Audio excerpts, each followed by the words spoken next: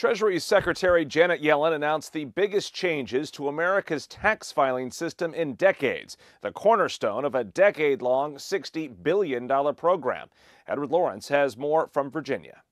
The IRS wants to make it easier for you to file your taxes by embracing a digital future. A new plan called paperless processing was announced by Treasury Secretary Janet Yellen on Wednesday. It calls for the agency to allow taxpayers to directly submit documents and correspondence digitally by 2024. And by 2025, all paper returns, documents, and letters to the IRS will be digitized. It will enable taxpayers to see their documents, securely access their data, and save time and money. If all goes well, the IRS estimates 94% of taxpayers will never have to send another piece of mail to the agency. It's part of a broader push to improve technology as a way of boosting customer service and winning over a skeptical public. We are in the process of transforming the IRS into a digital first agency.